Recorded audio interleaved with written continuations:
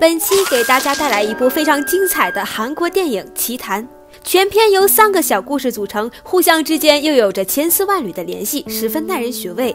在一间办公室里，朴教授正在跟女儿通电话，希望能跟女儿一起吃饭。不巧的是，女儿已经吃过了。可是随后，女儿告诉父亲，自己在他桌上放了一本相册，那是在他从前工作过的安生医院找到的，希望能给父亲留个念想。因为安生医院今晚就要拆迁了。画面一转，思绪万千的朴教授独自来到了即将拆除的安生医院。许多年前，在这里发生了很多不寻常的事，导致他至今噩梦缠身，如同阴影一般在脑海中挥之不去。随着回忆开始，镜头转换，时间来到了一九四二年的安生医院。此时还是青年的朴教授小朴才刚刚开始学医。这天，他和几个青年学徒跑到了主治医生李医生这里进行学习。而李医生告诉小朴，因为制冷系统坏了，教务主任特地安排他独自在停尸间值夜班一周。画面一转，在主任办公室里，小朴正在跟教务主任谈话。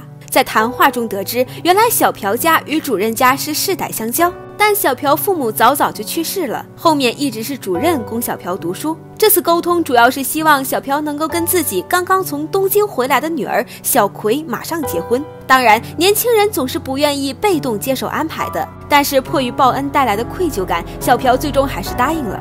画面一转，随着玫瑰花瓣的飘落，冰层下面显现出了一具学生模样的女生，而在这之后，冰层就炸裂开了。场景再次转换，小朴正坐在楼梯上画画。后来，同事通知小朴，医院新到了一具女尸，因为一直都是冰冻的状态，所以看上去非常完美，仿佛天使一般。这似乎就是之前那具冰层下面的女生了。这天晚上，小朴因为好奇，掀开了那具尸体的白布，确实非常美，顿时把小朴给吸引住了。我们暂且就叫这具尸体小美。突然，一声东西落地的声音传来。小朴循声找去，却发现原来是一个戒指。接着，小朴还尝试把这枚戒指戴到小美的手上，可是却戴不上去。第二天，小朴再次来到停尸间，跟小美说话，自言自语中，小朴告诉小美，自己确实不喜欢做医生，真正喜欢的是画画，而且一个月之后，自己还要跟一个没有见过面的女生结婚，觉得十分懊恼。可是这一切都在看到小美之后就都改变了。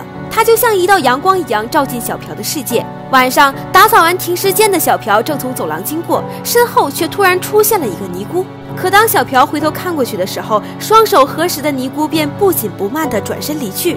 画面一转，小朴再次来到停尸间，跟小美独处。意外的是，教务主任居然跟着过来了，并且夸赞小美的美丽。原来小美是因为跟男友一起殉情自杀而死的，但是那个男人的尸体却一直没有找到。经过一阵寒暄，主任再问了小朴的生辰八字后，转身离开了。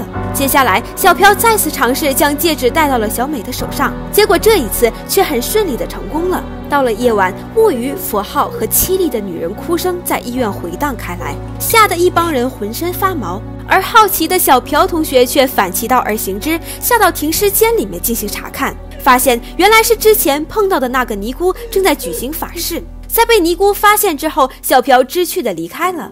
此时，另外一边察觉到停尸间有响动的小朴转身走了进去，结果发现从小美的停尸柜里开始不停的往外冒着黑水。一番好奇之下，小朴打开了柜子，却意外的发现里面的小美不见了。不一会儿，黑水便停止了翻涌，一双手突然出现，一下就把小朴搂进了停尸柜，紧接着柜门也关上了。随着停尸间里突然开始飘落的樱花花瓣，场景切换，在小美的引导下，小朴走进了幻境。在幻境中，两人走过了拜堂、孕育、生子和缠绵。等到小朴忽然惊醒，小美居然又变回了一具没有生命的尸体。后面我们得知，原来这一切都是教务主任实施的一场冥婚。举办法事的尼姑就是主任的姐姐，而小美其实就是主任的女儿小葵。之所以这么做，就是为了将女儿跟一同殉情的男友彻底断绝关系。但是在某种程度上来说，小朴应该也算是有情人终成眷属了。第一个小故事完，时间回到两天前，安生医院收治了一名车祸中幸存的小女孩，名叫小红，而另一边则是她已经失去的妈妈。在救治中发现，虽然小红精神状态极不稳定，但是身上却是没有任何伤口。知道事情经过的小朴心情沉重的把小红妈妈推进了停尸柜，可是，一转身却发现停尸柜的门怎么关都关不上。另一边，主治医生李医生一边讨论着小红的病情，一边手里拿着小红跟妈妈的合照，仔细端详着。随后，房间的灯光就开始闪烁起来。而当李医生前去查看的时候，小红妈妈的鬼魂已经直挺地坐在了小红的病床旁边，并且用十分诡异的表情在跟女儿诉说着什么。随着小红的尖叫声，原来只是一场噩梦。在病房里，李医生认为一定是小红无法接受父母的离去，才使得她接连噩梦，并且患上了严重的失语症。不知道为什么，盯着李医生看的小红竟然一点一点开始回忆。而通过小红的回忆片段，我们发现，其实小红妈妈应该是深爱着自己的女儿的，但是小红却貌似对自己的继父有着很不寻常的感情。刚刚之所以看到李医生会陷入回忆，完全是因为他长得有几分像自己的继父。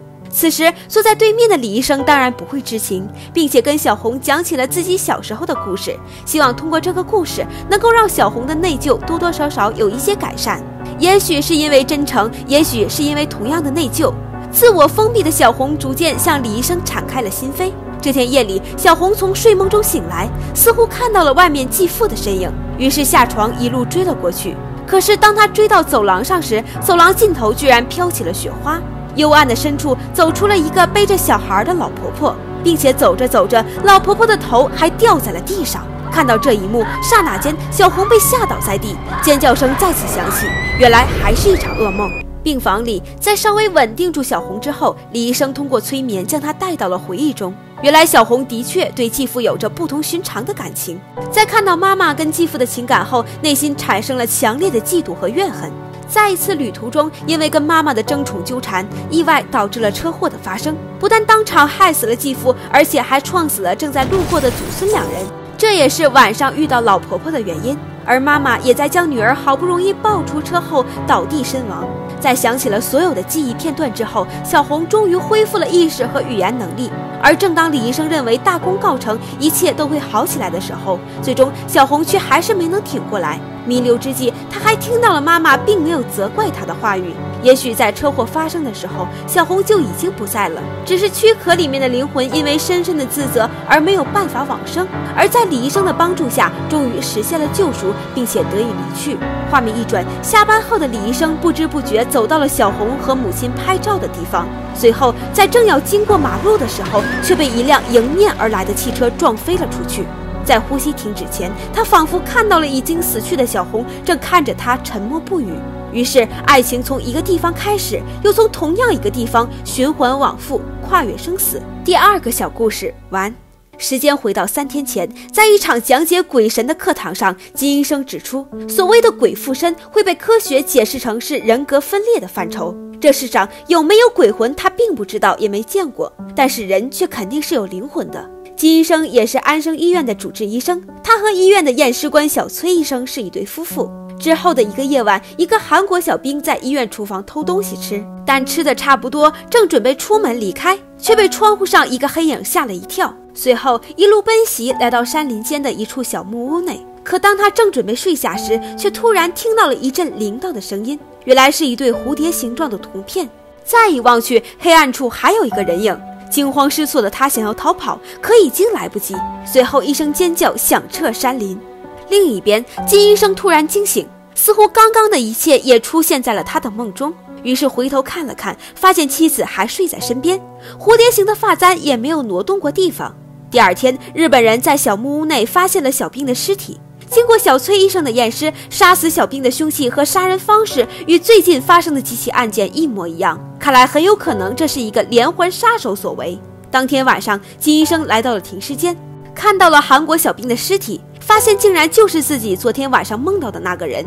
于是，在回到家后，觉得事有蹊跷，连忙询问妻子昨晚有无异常，而妻子告诉他自己已经记不得了。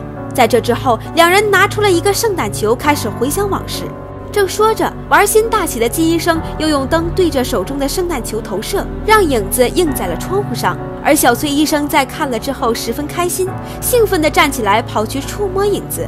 就在此时，对面的金医生发现，同样站在窗边的妻子却没有影子。随后，一段尘封的记忆出现在了眼前。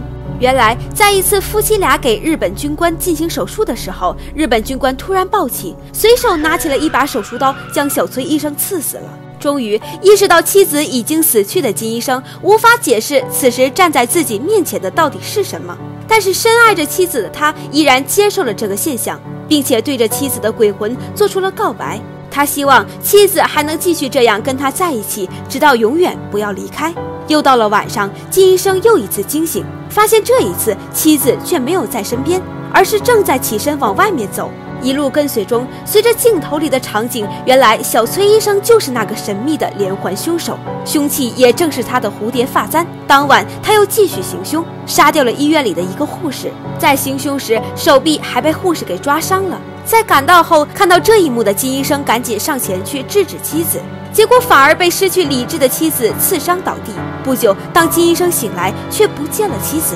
第二天，妻子又神奇般的出现了。可奇怪的是，被抓伤的伤口竟然出现在了金医生的手臂上。一阵恐惧之后，眼前刚刚出现的妻子再一次消失了。金医生陷入沉思：莫非自己才是真正的连环凶手，而一切都是自己的人格分裂？另一边，日本人已经发现了护士的尸体，而深深内疚的金医生也拿起了电话准备自首。于是，在接到金医生电话后，日本人开车出发了。而通过后面的镜头发现，原来撞死李医生的正是日本人开的那辆车。不知道这究竟是巧合还是命中注定。此时的金医生在写下了认罪书之后，静待日本人的到来。可当日本军官到达之后，打开门的却是妻子小崔，而且小崔还将他刺伤后逃逸了。至此，三条单线故事在这里完成了重合，所有的一切都终结在了故事发生的原点。第二个故事中遇到车祸的李医生被送回了安生医院。在听到小红说出“我爱你”之后，安然离去。第一个故事中，筹划冥婚的教务主任也在完成女儿的遗愿后，选择了上吊自杀。而日本人也将逃到太平间的小崔团团围住。通过日本军官的喊话，一切真相大白。原来，在那一次手术中死去的其实是金医生，而小崔医生则活了下来，并且在这之后选择了将自己的人格隐藏起来，而以丈夫的人格继续活在了众人的眼中。在喊话中，小崔医生终于明白了，这一切只不过是梦幻，自己假装出来的鬼附身，终究只是人格分裂的躯壳而已。于是，举起了手中的发簪，刺向了自己，到另外一个世界去实现跟丈夫真正的永远在一起。画面一转，回到了在床上忆往昔的朴教授这里。在想起所有往事之后，他终于明白了，其实小美一直都在他的身边，从未离开过。可是为什么当初既然选择了跟他在一起，但是这么多年小美都不让他看见自己呢？在疑问中，朴教授就这样安然离去。看来小美终于决定要与朴教授在一起，真正的长相厮守了。